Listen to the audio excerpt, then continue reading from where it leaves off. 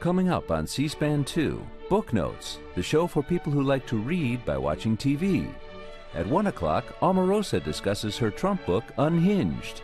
At 2 o'clock, Bob Woodward talks about his new Trump book, Fear. Then at 3 o'clock, General Kelly reads from his Trump book, Please Tell Me None of This Is Real. And finally, at 4 o'clock, Eric Trump discusses his new tell all book, Are You My Daddy? It's The Late Show.